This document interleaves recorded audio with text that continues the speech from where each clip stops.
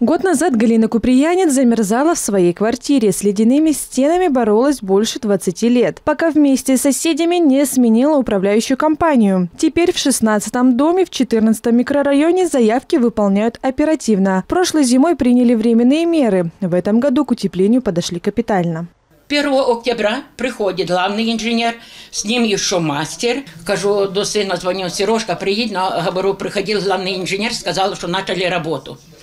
Сережа приехал, каже, мам, ты хотя бы не выходь, ты, бо ты всегда будешь сварить. Они тебе так делают, как самому себе. А, во-первых, пенопласт тонкий, один говорит так, леж, стоя ставит, один поперек. В квартире Галины Куприянец поменяли и батареи. Теперь в доме тепло и уютно. Сделали от души. Ну, я не могу даже нарадоваться. Сделали они вот это все. Работа муниципальной управляющей компании под контролем администрации города, поэтому заявки выполняют качественно и в срок. По-другому работать не получится, так считают и специалисты. Количество заявок, поступающих в наш, к нашим диспетчерам, зависит все от в наших условиях крайнего севера зависит все от погодных условий. Непосредственно, если мороз поднимается минус 30 ниже и еще ниже, то, соответственно, по сантехнической именно тепло, тепловодоснабжению участку будет больше заявок. Это э, замерзла холодная вода, замерзла КНЛ, замерзла тепловодоснабжение и так далее. Поэтому это считается аварийные заявки, мы их отрабатываем в первую очередь. Ответственно к своей работе относится и Светлана Федорищева. Она третий год трудится в муниципальной управляющей компании.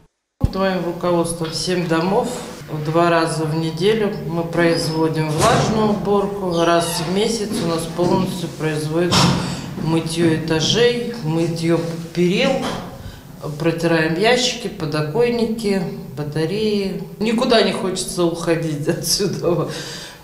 График устраивает, все, коллектив хороший. В муниципальной управляющей компании работает более 130 человек. Сегодня они обслуживают 17 многоквартирных домов. И не только. Это у нас обслуживание социальной сферы, это детские сады, школы.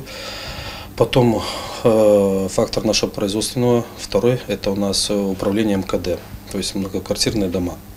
Здесь у нас трудятся сантехники, электрики, э, рабочие по комплексному обслуживанию, дворники – уборщики лестничных э, маршей. Спектр очень большой. Работают на совесть и подают пример остальным. Алла Ислаева, Никита Мищенко. Новости Губкинского.